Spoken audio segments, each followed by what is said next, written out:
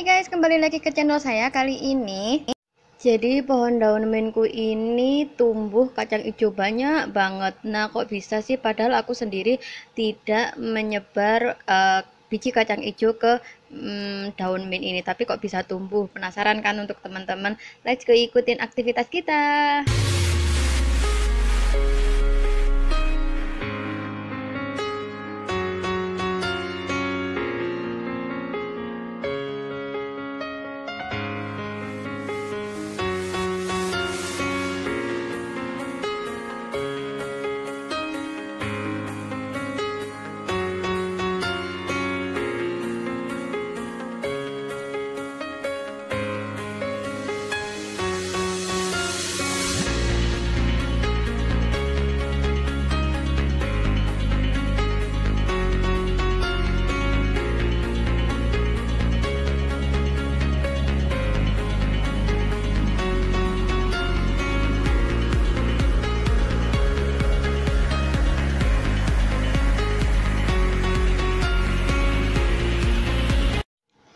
Tarang, ini dia. Jadi aku nggak sengaja kali ini tuh jadi ceritanya aku sedang melakukan peroni. Cuman nggak sengaja ketika aku ambil-ambil dari vertical garden, di rak vertical garden itu aku menemukan beberapa polybag lumayan banyak polybag itu berisi uh, kacang hijau udah pada mau tumbuh. Jadi dia udah pecah bijinya dan ada beberapa yang udah tumbuh. Nah, ini semuanya ada beberapa yang ada kacang hijaunya guys. Makanya kita akan fokus memindah biji kacang hijau yang mulai pecah dan mulai bertunas. Hai kembali lagi ke channel kita ke channel Irkawa Elisa. Kali ini kita bergabung sama ponakan. Dia udah nyiapin media tanam untuk uh, membudidayakan banyak kacang apa?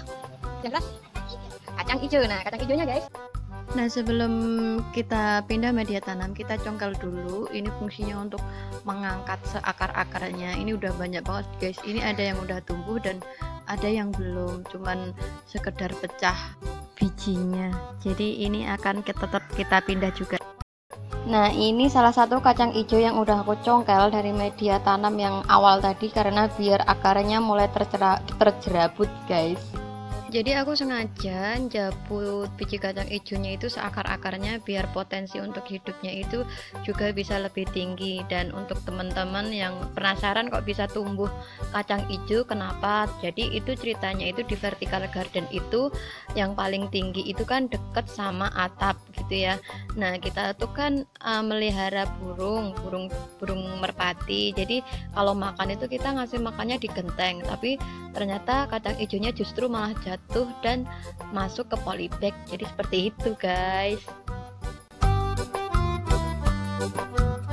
media tanam ini aku komposisi campuran tanahnya sama seperti nanam kaktus sukulen. Kemudian aku pakai sengaja pakai polybag bekas jadi yang udah sobek-sobek karena besok ketika kacang hijaunya udah mulai remaja itu juga nantinya cuman akan kita pindah juga. Jadi ini untuk sementara aja. Jadi kita nggak perlu pakai polybag yang baru karena go green guys. Itu kan plastik penguraiannya lama banget dan ini sengaja sih aku ngajak ponakan nggak ngajak ini lebih tepatnya dia ikut sendiri. Jadi biarkan dia menyatu dengan alam dan dia biar tahulah uh, dunia pertanaman itu seperti apa. Karena itu akan mengasah sensitivitas mereka ke depannya guys